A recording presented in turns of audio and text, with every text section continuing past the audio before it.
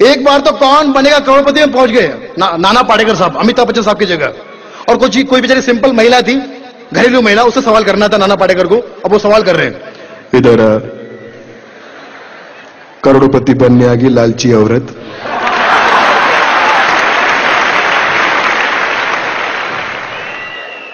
कितना लालच भरा है तेरी आँखों में।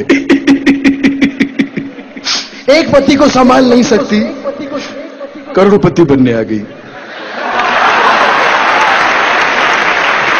बैठ यहाँ पर। ऐसे बैठ। तेरे साथ तेरा पति आया, उसको मत देख।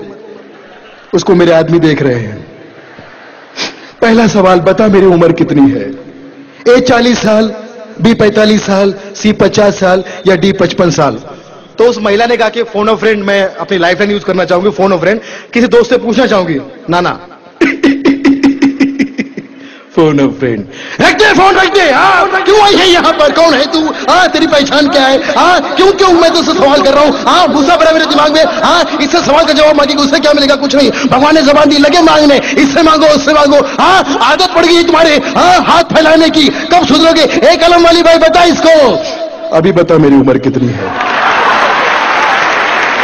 बोले आपकी उम्र एक चालीस साल। सही जवाब। कैसे बताया? बोले, मेरा एक छोटा भाई है, वो बीस साल का है और वो आधा पागल है।